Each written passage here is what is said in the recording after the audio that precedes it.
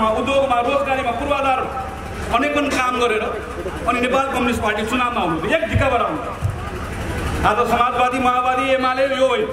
सबै communist party एक ढिकाबाट आउँथ्यो।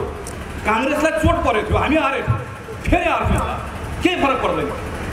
तर देशको स्थिर राजनीतिबाट आम जनताले लाभ पाउने अवस्था हामी पनि अरू तयारी गरेर आउँथ्यौँ। हामी पनि नयाँ सङ्कल्पका साथ आउँथ्यौँ र पाँच वर्ष पछाडिको अर्को योजनाका साथ आउँथ्यौँ। तर देशको राजनीति अगाडि बढ्नुको साटो पछाडि फर्कियो।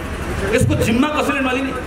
आज नेपालको जुन अस्थिरता अस्तव्यस्तता नेपालको खास गरिकन लोकतन्त्रमा जुन खालको ज घसाइको विषय बनेको छ निर्वाचन जसरी तालमेल गठबन्धनको नाममा जसरी जो जो जो जसले जोसँग पाए त्यहीसँग मिल्ने जुन अवस्था निर्माण भएको छ यसको जवाब कसैले दिनु पर्दैन?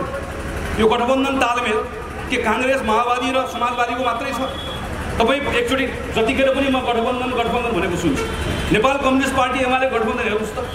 तनहुमा काङ्ग्रेस छोडेर जानुभएको गोविन्दराज जोशीसँग गठबन्धन छ। मकवानपुरमा कमल थापासँग छ। चितवनमा राजेन्द्र लिङ्गदेनसँग छ। अलि पर गए पनि परिवार दलसँग छ। रोल्पामा विप्लवसँग छ। मधेसमा सिके राउतसँग छ। जसलाई भेट्यो त्योसँग गठबन्धन गरेको छ। गठबन्धनको बाहिर एमाले ढुकेर बसेको छ। कहीँ माओवादी काङ्ग्रेसको कुरा मिलेन भने माओवादीलाई कहाँ कुनातिर लिएर जान्छ अनि काममा लगेर दिएन काङ्ग्रेसले मेयर दिएन म दिन्छु नि म दिन्छु नि भन्छ। चिनेको छैन हामीले देखेको छैन हामीले। यो अवस्थाको जिम्मा कसले दिने यो अवस्थाको जवाब कसले दिने त्यसैले म आम पार्टीका साथीहरू मार्फत उदयपुरवासीलाई गाईघाटवासीलाई मात्र होइन सिङ्गो उदयपुरवासीलाई अपिल गर्न चाहन्छु काङ्ग्रेसको तर्फबाट। मतदातालाई अपिल गर्न चाहन्छु। हिजो सूर्यमा मतदान गर्नुभएको अपिल गर्न चाहन्छु। हिजो हसिया अतडमा मतदान गर्नुभएको अपिल गर्न चाहन्छु। मतदाता कसैको दास होइन। मेरो बाले सूर्यमा हाले मेरो हजुरबाले मैले हाले मैले हाल्नुपर्छ भनेर भन्ने हो भने त्यसो भए चुनाव नगरौँ। रुखमा पनि त्यही नै हो। बाले हाले बाजेले हाले मैले हाल्ने होइन। प्रत्येक कुराको पछाडि एउटा कुनै न कुनै रूपमा त्यसको उद्देश्यलाई औचित्य हुनुपर्छ। अडचालिस सालमा हामीले बहुमत पायौँ। आफै झगडा गरेको चौहत्तरी छत्तिसै भयो ठेक्न नसकेको। एकाउन्न चुनावमा गएको। चुनावमा जनताले हामीले के गरे? ठेगान लगायो। हामीभन्दा धेरै पछिको पार्टी एमालेलाई हामीभन्दा ठुलो पार्टी बनाइदिए चौसठी पैँसठीमा माओवादी ठुलो पार्टी बनेको। संविधान बनाउन सकेनन्। वैद्य विप्लव सब फुटे। माओवादीलाई ठेगान लगाइदिए सत्तरी सालमा जनताले त ठेगान लगाउने हो। कि दण्ड दिने हो कि पुरस्कार दिने हो? अनि बल्ल पार्टी ठिक ठाउँमा हुन्छन्। अनि बल्ल नेता ठिक ठाउँमा हुन्छन्। यो पाँच वर्ष नेपालको कम्युनिस्ट पार्टीलाई जिम्मा दिएको हो। आज एउटा हँसिया बोकेर हिँडेको छ एउटा कलम बोकेर हिँडेको छ एउटा हतुडा बोकेर हिँडेको छ अर्को घामबाट सुतेको छ।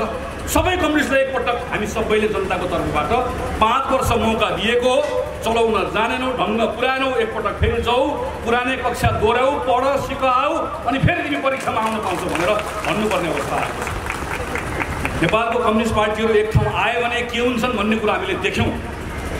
शान्तिको यत्रो लामो प्रक्रिया सकिसकेपछि आएको संविधान। त्यो संविधान प्रयोग गर्ने विषयको सन्दर्भमा देखिएको अनुदारता यो सबै कुरा हामीले देख्यौँ। तर विषय यसको मात्र होइन। विषय नेपालको विकास कसरी गर्ने भन्ने विषयका सन्दर्भमा पनि नेपालको कम्युनिस्ट पार्टी खास गरिकन नेकपा एमालेको सोच के रह्यो भन्ने विषयको बारेमा पनि अब हामीले छलफल गर्नुपर्ने भएको छ। नेपाल कम्युनिस्ट पार्टी र मूलत नेपाल कम्युनिस्ट पार्टी एमालेको विकासको बारेको दृष्टिकोणमा चारवटा मुख्य खोटहरू छ।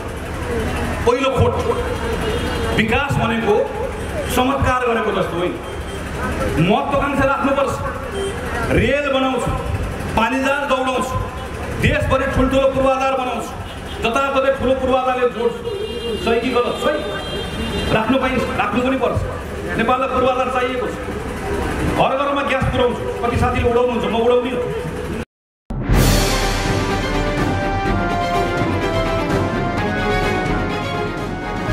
तपाईँको सूचनाको साथी दैनिकी डट कम।